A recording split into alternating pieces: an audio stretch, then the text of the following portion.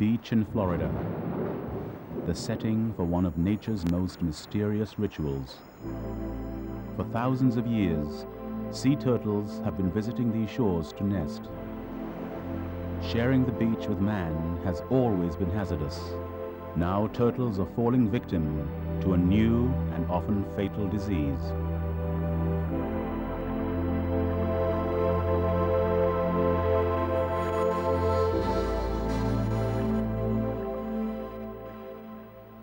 On this beach, just south of Cape Canaveral, Florida, They're ready for the world. a team of conservationists is giving nature a helping hand. A nest of leatherback turtles has failed to emerge after their normal incubation period. Unusual heat and rain have packed the sand down, trapping the babies beneath. Was there a uh, We'll try crust or cap or anything that may have prevented them from emerging normally? They seem to really want to be out. David Godfrey is director of the CCC, the Caribbean Conservation Corporation. He's helping Dr. Lew Ehrhart and a team of researchers with the rescue mission. Surface sand away. They're real lethargic. I Think some of the ones underneath might be a little better off, or Uh, I don't know. So they might, they might be be worse. Yeah. See any more? No. Yeah, that one's ready to go. Yeah, that's the one that looked lively as soon as he came. Hang on, hang on, got a live one. Really? Yep. The team acts just in time. He's not making out. These two guys are gone. Here's a That live still one. alive. What do you want? Oh, this guy's happy. He's still he's deformed now. That's pimp alive. What you ought to do is take these and create an create an emergence. I, I, I think we can. Eight, nine. The conservationists have developed an emergency rescue method. Water revives the baby turtles. Then the team covers them in loose sand so they can dig themselves free in the normal fashion.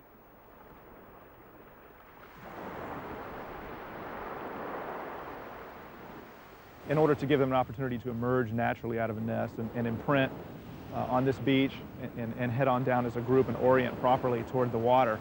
We went ahead and put them and just added about two inches of sand back on top and let them emerge uh, as if a natural emergence was taking place.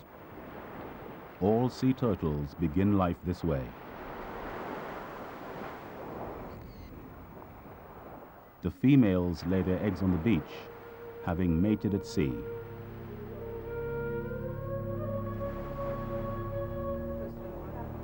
Once they've emerged, the hatchlings return to the water. What you're seeing is an act that's a hundred, hundreds of millions of years old. Some of these tiny creatures will one day return to this exact beach and repeat the ritual. They will lay their eggs where they themselves were born, but only a few of them will make it. A lot of hazards between this emergence into the water and when they come back. Um, the chances are uh, that maybe one or, or two or less of, of this actual nest will ever grow up to reach maturity. So everything we can do to help them at this point uh, it, it helps their cause. Turtles are extraordinary animals with a unique life cycle. Having left the beach, they swim to the open ocean, where many feed on floating sargassum weed. As juveniles, they migrate again to offshore feeding grounds. It may take them 50 years to sexually mature. Then they migrate once more, thousands of miles back to the exact beach where they were born. It's one of the most remarkable feats of the animal kingdom. From birth, sea turtles are solitary. It's thought they may live for a hundred years, but there is no known way of working out their age from their appearance. They spend most of their time underwater and live at least 90% of their lives at sea, even though they breathe air and nest on land. The typical uh, nesting process takes about two hours to, to, finish from the time they crawl up until the time they go back down after having deposited their nest and, and disguised the whole area. Nesting takes place at night. In order to disturb this female as little as possible, the scientists are using red-filtered light. Some people often ask how long sea turtles can actually stay out of the water. Well, of course, they're, they're air-breathing reptiles, and although they very rarely ever come out of the water, they actually can survive for up to weeks at a time on land.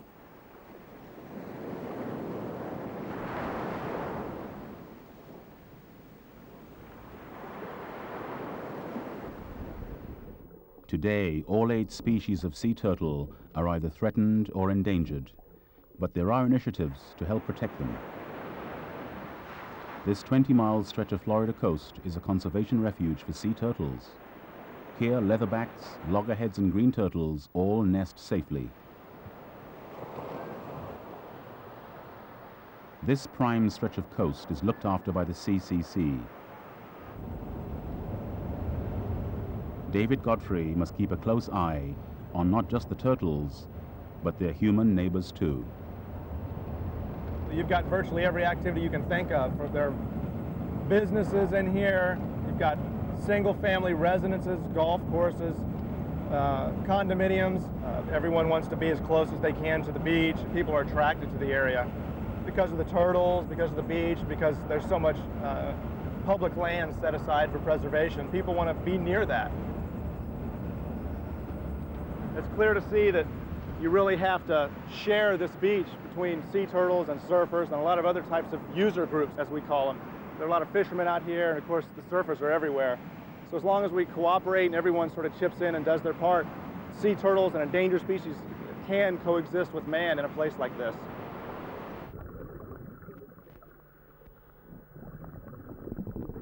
Far out at sea, turtles are even more at risk. Thousands are killed every year by fishing nets and plastic debris.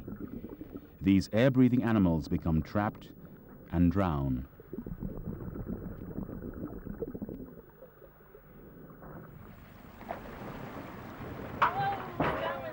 This stretch of Florida coast is not just a place where adult turtles come to nest. It is also an important habitat for developing juveniles. It's these young turtles that conservationists are particularly worried about. They're concerned about a new threat to the beleaguered turtle population, a mysterious disease that may be caused by pollution in the water. Ordinarily, we don't work when uh, the wind's out of the southeast. Yeah. We hardly ever are out there, but... Uh, Dr. Ehrhart and his team of students are monitoring the health of juvenile green turtles living here in Florida's Indian River Lagoon. The team regularly nets turtles in order to run health checks on them.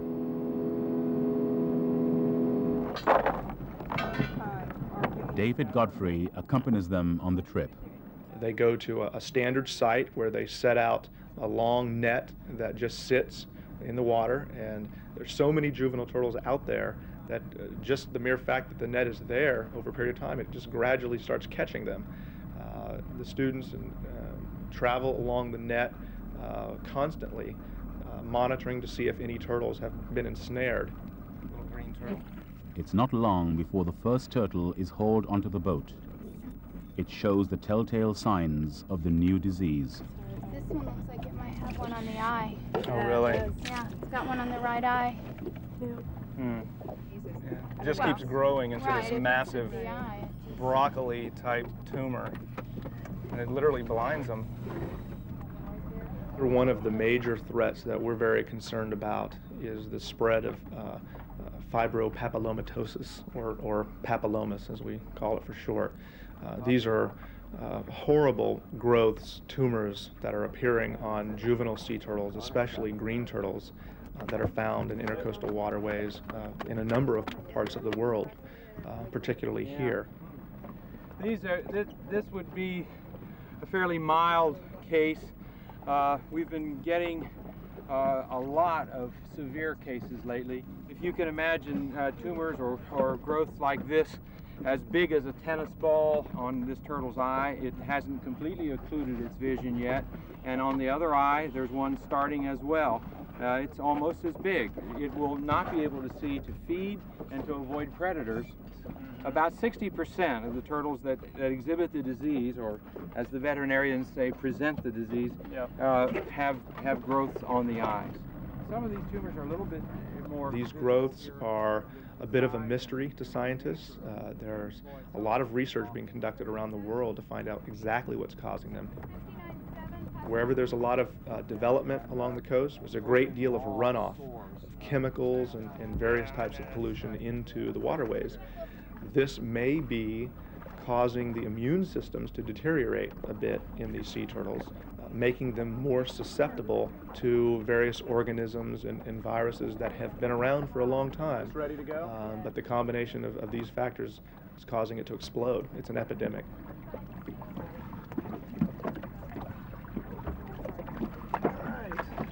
Be free. Live long and prosper. The researchers' evidence suggests that in juvenile turtles, the disease usually leads to death. They've found young green turtles to be particularly susceptible. So far, scientists have found no way of treating the suspected virus. Researchers are working to isolate the causes and to find a vaccine. As usual, resources are limited. These netting expeditions help to gather information for the immunologists back at the labs at the University of Florida. Turtle could drown if it got trapped in a net.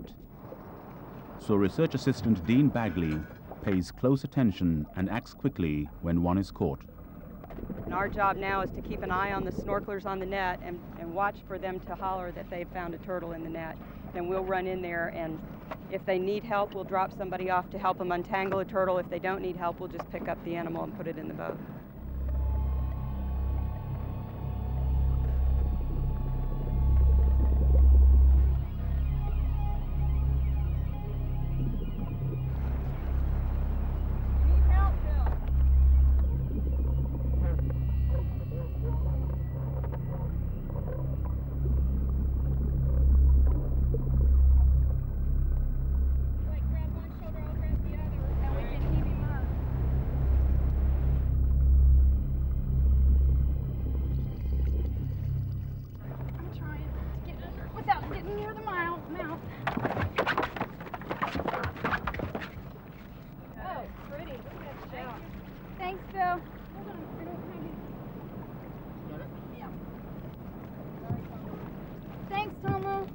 They do flop around some. We don't think that they're stressed very much. Probably the most stressful part is when they're in the net, and that's why we try to get them out so quickly. I can still use this one though, right? With four green turtles safely on board, the team tags them, then performs some medical tests. I'm drawing blood from a cervical sinus. Blood gets used for a number of different things. Um, we use it for genetics work. We use it for uh, testosterone analysis so that we can get a sex ratio of the population. And we also work in conjunction with some immunologists up at the University of Florida in Gainesville that uh, look at antibodies and things of that nature. Well done, Total. The average size is about 40 centimeters. And uh, so, so more, more than likely they're, they're comparable. They're either comparable populations or part of the same population. And that's one of the things we're looking at.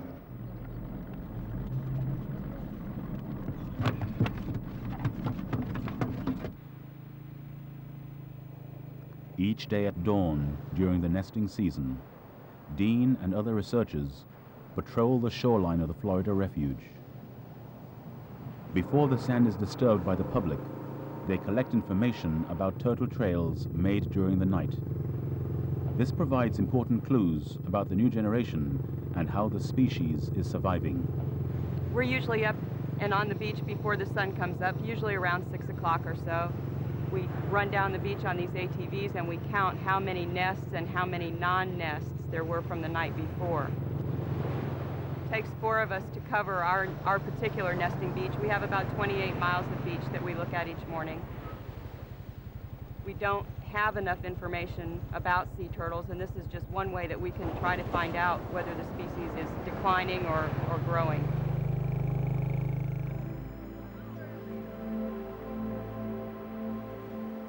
The CCC has invested in state-of-the-art satellite technology, the only way to effectively monitor the population across wide expanses of ocean. David Godfrey is enthusiastic about the new possibilities. The CCC recently started a, a very exciting education program that's tied in uh, with some cutting edge research uh, that's now underway to determine where these turtles go after they've nested. It's very hard to track an individual sea turtle after it leaves the beach uh, once they go back into the open water. So we're using a combination of high-tech uh, transmitters that are attached to the back of a few turtles uh, that send a signal to a satellite, allowing researchers to literally determine where these turtles are moving. The transmitters are attached using a series of epoxies and fiberglass and resin hold the transmitter to the back of the, uh, the flat part of a turtle's back. The transmitters themselves can send signals for as long as the battery lasts, which is typically up to about a year, sometimes a little more after the battery runs down, the device will eventually fall off the back of the turtle. The resin and other uh, materials that are used to attach it eventually break down in the salt water.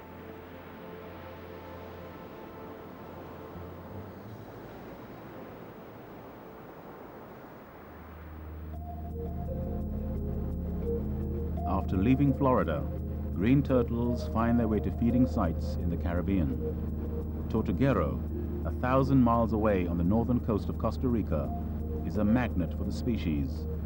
It has the largest green turtle rookery in the world. David is on a mission. The team knows that many of the juvenile turtles in Florida originally hatched on the beaches of Tortuguero. They want to assess the impact of the papillomavirus here in Tortuguero compared to the juvenile turtles back in Florida. They've been found through genetic testing, many of them to be from actually the Tortuguero population. The work that we do to learn more about uh, fibropapillomatosis occurring in this juvenile uh, population is directly related to the community of turtles that we're protecting down in Costa Rica.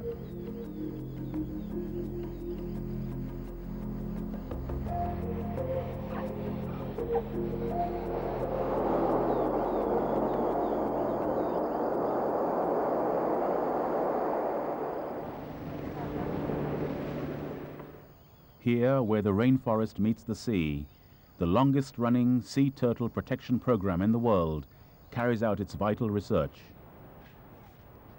Since the 1950s, turtle enthusiasts have been coming here to help biologists in their conservation work.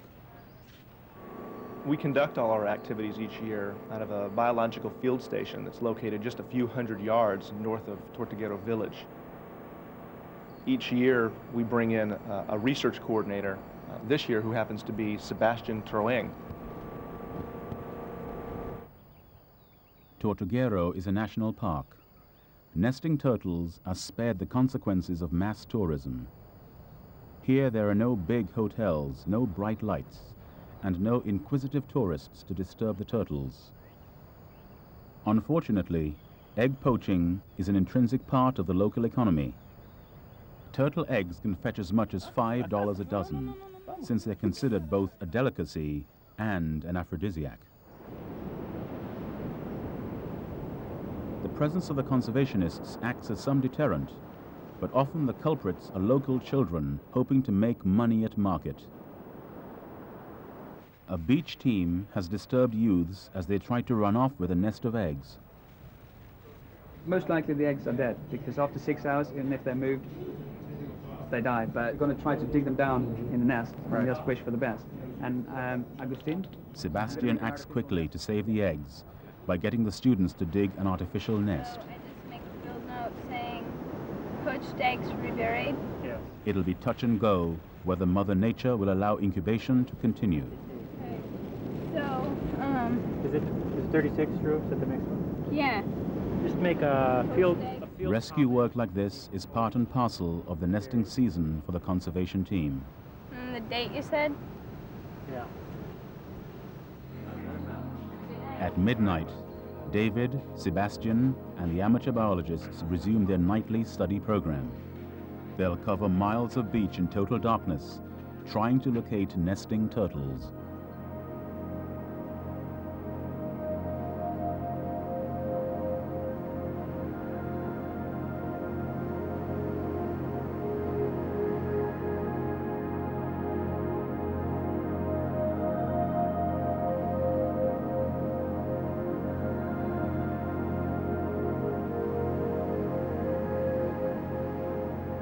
The team located a turtle as she emerged from the sea. Now they're waiting for her to dig a chamber in the sand for her eggs. They use red filtered lights, so the female is disturbed as little as possible. Sebastian explains to the students the purpose of the examination that follows. The average here in Tortuguero is about 110 eggs. As they drop into his hand, he's counting them and then let them drop into the egg chamber. Um, and the reason we do that is we want to find out whether the clutch size varies from year to year. Um, that obviously has implications for population dynamics. Because if there's more eggs laid, then there'll be more hatchlings and more turtles in the future. 8.5. It's got very powerful fins, um, and um, they can throw sand behind them quite far. And if you go up at night, unless we don't use any light, um, and try to make out what the turtle is doing, it's, it's not too rare that you sometimes get a shower of sand straight into your eyes. The turtle is not crying because of the hard work she's doing, although obviously it is quite hard work.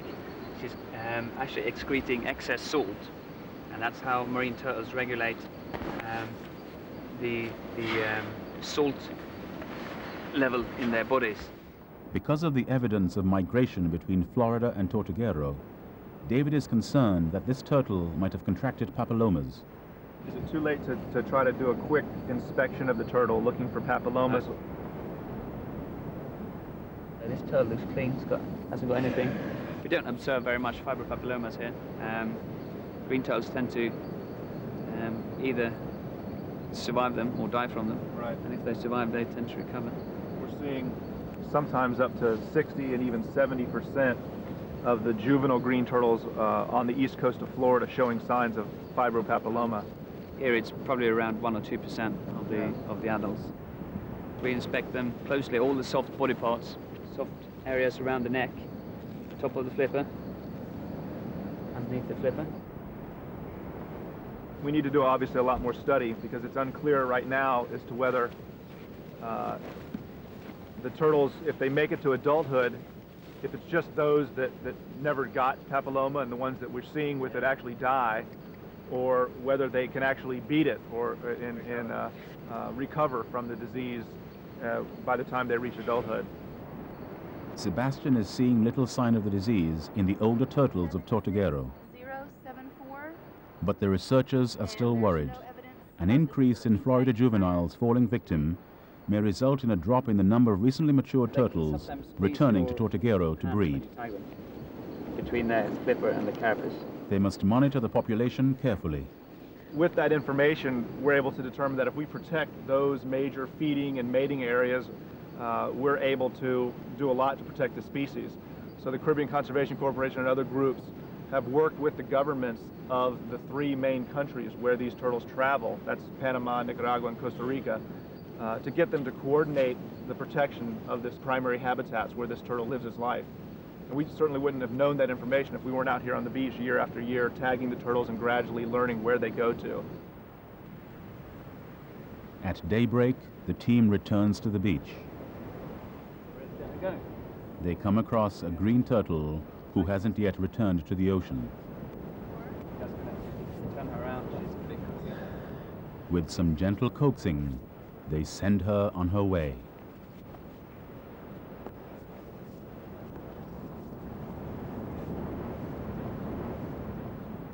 So much of the work is done in the middle of the night and it's pitch black and you can only, you know, just make out the features of the turtle.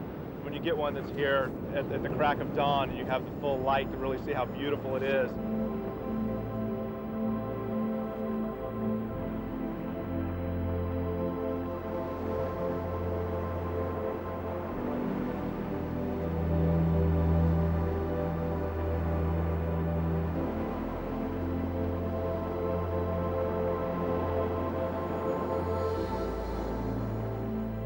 Research itself is a very important tool for conservation because as we uh, learn where the turtles are going and exactly what routes they're taking to get there, we can devise strategies to deal with some of the threats that they might be facing